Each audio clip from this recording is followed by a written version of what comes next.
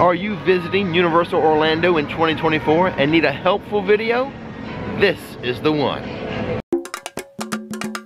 Hey, what's going on everybody? Rick here, and these are the tried and true best tips for Universal Orlando Resort. The first tip is to use the height board. Each theme park has one, Studios and Islands of Adventure. Measure the kids before they get inside the park. That way expectations can be set. It's better to find out here if the child is too small for a ride than at the entrance to the attraction. I have an alert for 2024. Starting this year, no more paper maps. You must use the mobile app. We'll talk more about the app throughout this video. And look at this, another sign to help us give you a tip. Use early park admission if available to you. Early park admission is not available for everyone. It is for annual pass holders and Universal Hotel guests. Early park admission gives you about a one hour head start on the rest of the park's guests. Early park admission will vary depending on the theme park. Sometimes it's just Islands of Adventure, sometimes it's studios, sometimes like right now it's both. Now Volcano Bay does have early park admission itself. Its early park admission is about a 30 minute head start. But I do need to warn you, not all rides will be open for early park admission.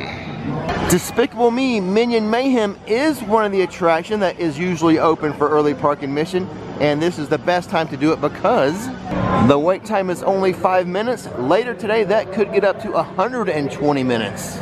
Now, if you do not have access to early park admission, you're not an annual pass holder, you're not staying at a Universal hotel, we just advise get into the park as early as you can. Exactly. Make sure to plan and prioritize the rides that you want to do first and hit those up right away. Yeah, I would say like do the most popular rides first. Oh yeah. Another tip would be to download the Universal app. You find show times, ride wait times, and it's great for mobile ordering food. But wait, that's not all when it comes to the Universal app.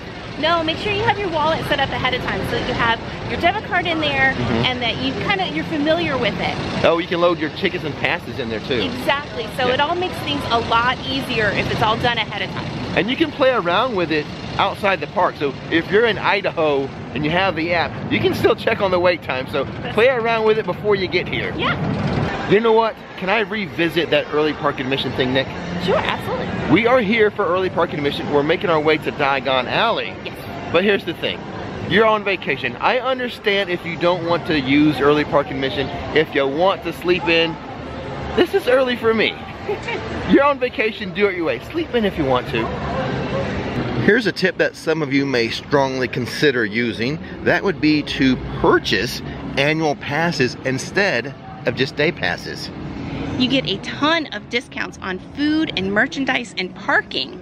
In fact, if you have the highest level annual pass like I do, the Premier Pass, you get free valet parking. I think the numbers support that if you're going to visit for at least five days, it kind of works out financially just to get an annual pass. But most definitely, if you're going to visit multiple times during the year, you know, just get that annual pass. And in regards to visiting multiple times, here's a tip for you. Plan to come during special events so check the Universal website for those specific dates, but there's Mardi Gras, there's concerts, there's Christmas, and there's Grinchmas, and the Macy's Parade. And our favorite, Halloween Horror Nights. The only warning about Halloween Horror Nights is that it is a separately ticketed event. It does not come with your price of admission. Right, all the other ones do, but HHN, different ticket. Hey look, we've made it to Louie's Pizza. We have a slice of advice here. This is sort of a money savings tip. Louie sells the jumbo slices of pizza. Save some money, cut it in half, share your pizza. Yeah, definitely find those things that are giant size here, like the big pink donut as well. That's definitely a shareable item. Cut some stuff in half, save half the money and half the calories. That's true. Also, Louie's has a walk-up window, so yeah. take advantage of that walk-up window versus going and having a seat. If you're just gonna grab a slice of pizza, yeah. there's seating outside as well. Yeah, the walk-up window has a limited menu, but definitely you can get a slice of pizza there. Mm -hmm. And since we're on the subject of food, might as well give you the tip to make restaurant reservations during the busy seasons. It can be done via the mobile app, in your hotel, or the walk-up kiosks. Which is located at the front of the park. Here's one of my favorite tips. Visit Chez Alcatraz after 11 a.m. and get yourself the Ocean Attack. It's the most popular drink here and it comes with a show. Yes, and there's also a kid version, so it's a non-alcoholic one as well. Awesome.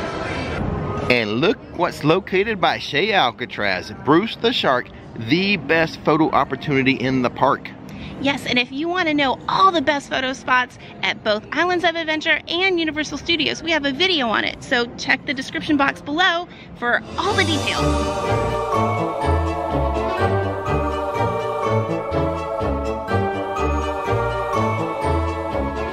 How about some Wizarding World tips specifically for Diagon Alley? The first tip is a big one. How do you get into Diagon Alley? I see a lot of muggles looking lost the night bus points the way.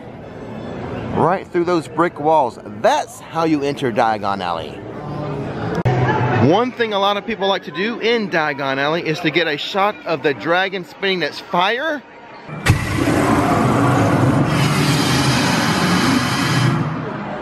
I should let you know, that happens about every 10 minutes unless it's too windy. Make sure to take your time and walk through and enjoy the ambiance of the Wizarding World of Harry Potter.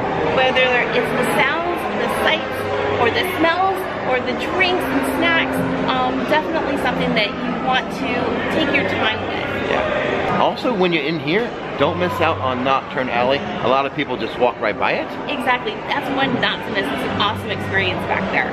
And it has the best air conditioning. It really does. Take a nap. If you need a break from the heat, visit Knockturn Alley. Yes. To fully enjoy the magical experience of the Wizarding World, we recommend getting an interactive wand. There are wand spots here in Diagon Alley and also in Hogsmeade. They're about $63. Hogwarts Express at King's Cross Station, a very fun attraction, but if you want to enjoy it, you need park-to-park -park tickets. Yeah, make sure to take the train to the parks both ways. It's a different experience each time. And it's the easiest way to travel between the two parks. Save your feet, get entertained. The best of both worlds. Well, I think apparating's a little easier. but not everybody can do that.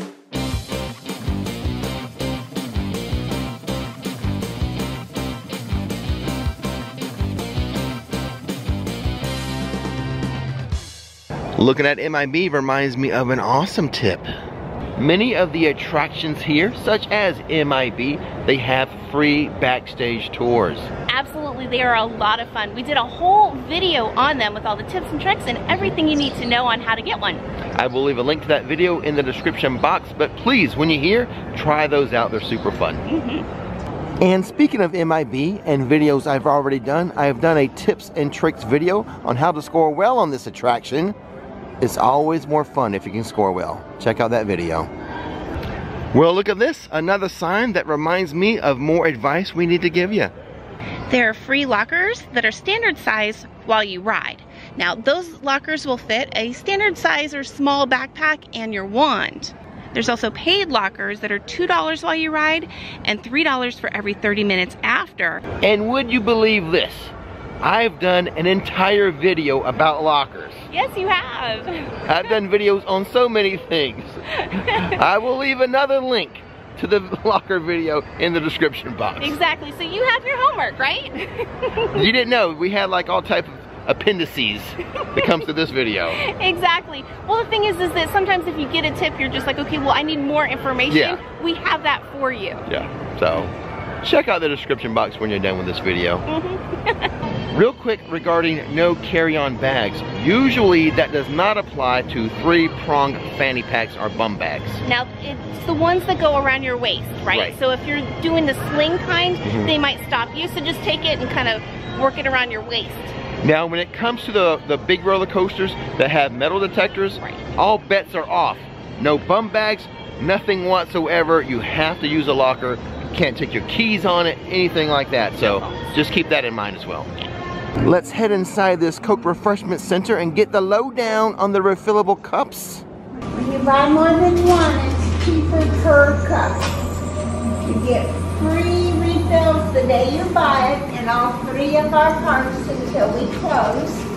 And that would include free icy at the icy park, And you can bring them back another day and reactivate them for about $11 each. And yes, I do have a whole video explaining the refillable freestyle cup program. Yeah, I mean, a lot of people take advantage of it and it's a great program. Now, just so you know, the hotels have a different like cup and refill situation Yes. than in the parks. So Right. don't think that it's gonna be transferable from one to the other. Now, it's for all the parks if you're doing the park one, but the hotel ones have their own. Right, and there's uh, throughout the theme parks, all these little like freestyle stations. Yes.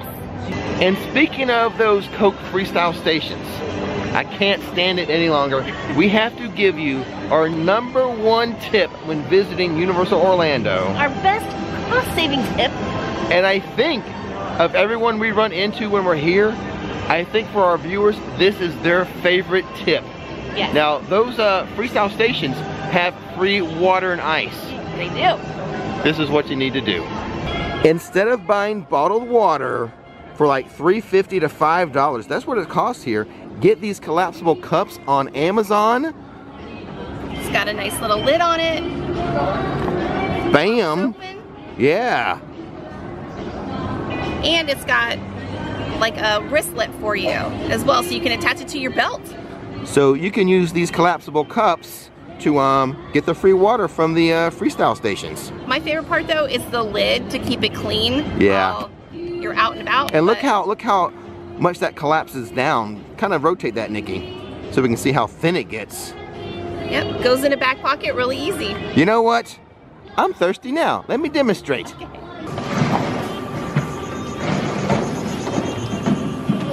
Free water all day long. Now here's a super secret tip when using that collapsible cup. The trick is, open it with a flourish. Like Rick does.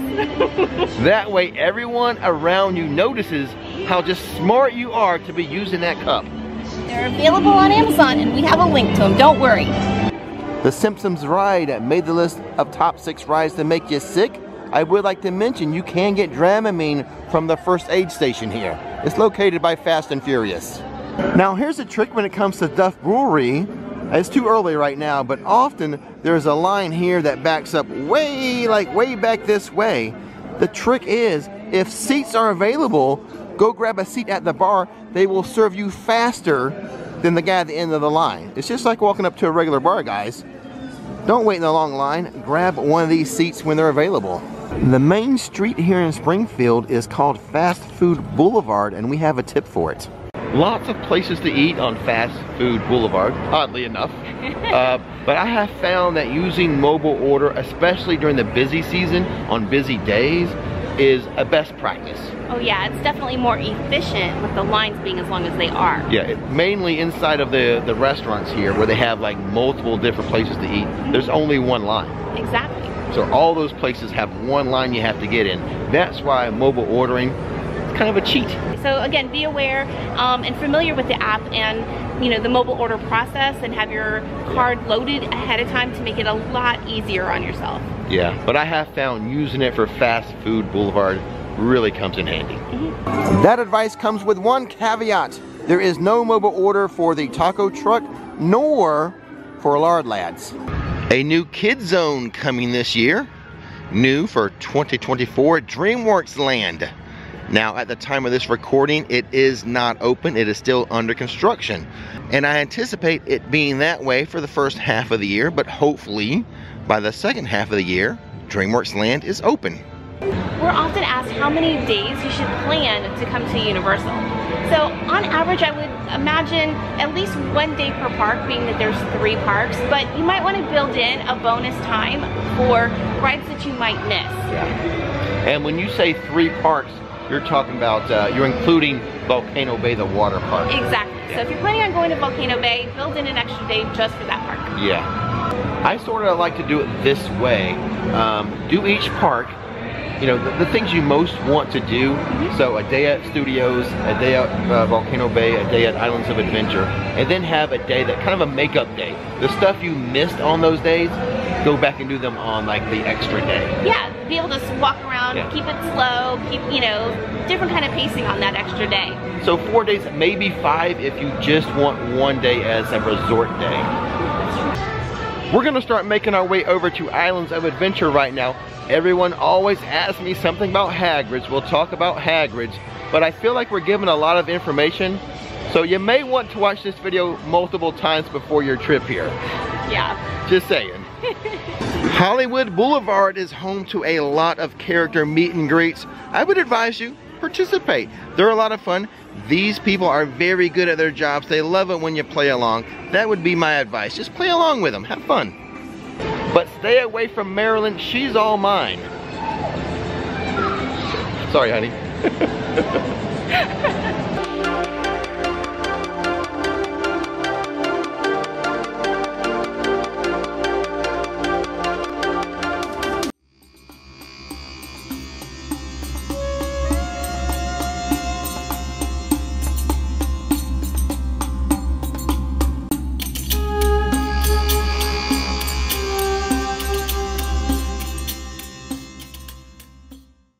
park shopping, it's a thing. Mm-hmm. That's why most of the rides exit through a gift shop.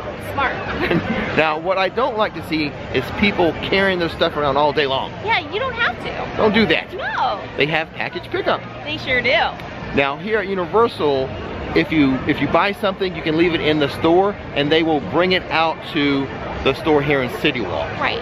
Plan for it to be about three hours. Yeah. The, the time frame for it to purchase and drop off over there. Yeah. Now the thing is, uh, when you purchase your items, you can also, if you're staying on site, have it delivered to your hotel. Yes. Some of them will go a step further and deliver it to your actual room. Wow.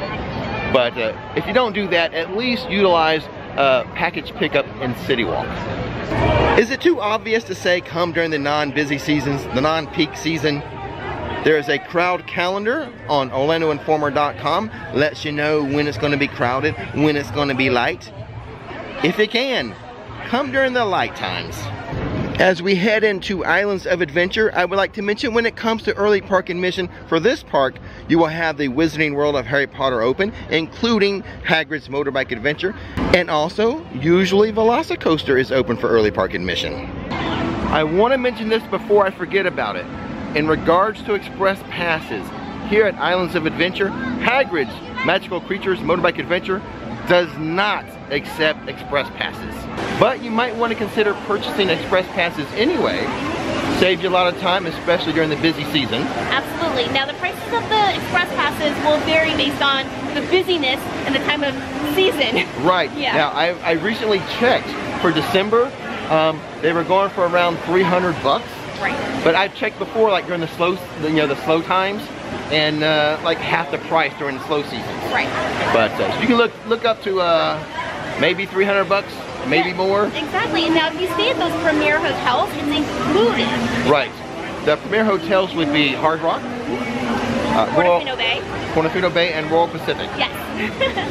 You were going to say one before I said the other. I know. It's sorry. Different mindset. Exactly. But anyway, if it's in your budget, consider the express passes. Now over here at Islands of Adventure, most of the rides are outdoors. Whereas studios, most of the rides are indoors, but you should be prepared for any type of weather here in Florida. But I would like to note, the parks seem to be less crowded on rainy days, so take that into consideration. So you may want to utilize Seuss Landing for the kiddos, and also uh, over there in Jurassic Park. Exactly. There's still a lot of Yeah. fun stuff for the kids to do and rides to go on and little play areas for them, even though the kids own it at, at studios is closed. Right. Oh, oh, I just remember the name of the place over there in Jurassic Park. Camp Jurassic. There you Look at go. Seuss Landing and Camp Jurassic for the kiddos. And if they are still too small for the rides, if I ran the zoo, that's a good place for them to just run around. Well, I am happy we made it to Hogsmeade. You know why? Because I think the question I may be asked most, any tips for Hagrid's? Any tips for Hagrid's? I have one or two. Yeah. I don't know how good they are, but here they are. So when it comes to Hagrid's Motorbike Adventure, it is always the longest wait in the park. Oh. Either park.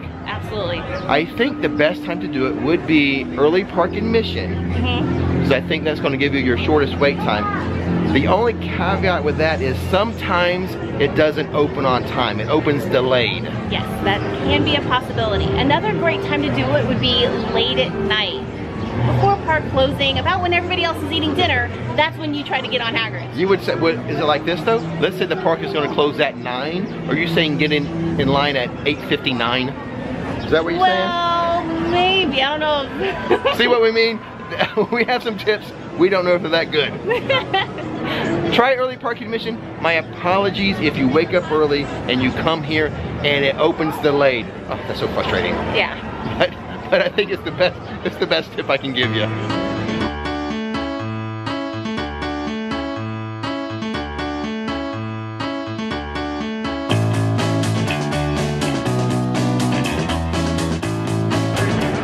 Now I am a bigger guy. I've never had any problem fitting on any of the Universal rides, but they do have test seats. So if you're concerned about that, they usually have a test seat like at the beginning of the queue before you get inside, and then also inside the queue, usually a test seat. Yes, now over here at Velocicoaster, I have a warning, and I kind of had to find this out the hard way. Oh, let's go, let's go to the test seat then. Yeah. So here's the issue if you're going to get on Velocicoaster in this ride vehicle, don't get chicken winged. Yes, they actually have a term for it. Yep. So watch that elbow. Don't get that elbow caught like that. Nikki got it caught once and got a nasty bruise. Horrible, yes.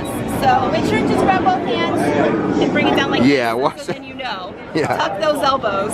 Yep, even the team members like, oh, you got chicken winged. Yeah, they so they know it happens. Yes. You guys be careful though. Yeah, tuck those elbows in. Now, if you're visiting Islands of Adventure, they have Toon Lagoon here. Yes, It's the home to the big water rides that will get you soaking wet if you want to.